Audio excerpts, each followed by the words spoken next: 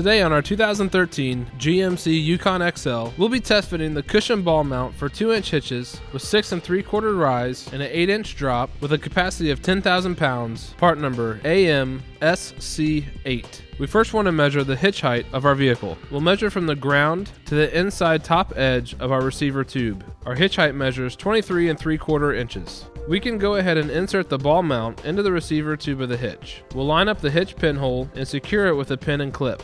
Now we'll take our measurement in the drop position of 16 and a half inches. Make sure to measure your trailer height when your trailer is level. Measure from the ground to the bottom of the coupler. If your measurement matches ours, this would be a great fit for you. Since the hitch height of our vehicle is around 24 inches, we will not be showing how to install this product in the rise position. This concludes our test fit of the Convert-A-Ball cushion ball mount, part number AM SC8 on our 2013 GMC Yukon XL.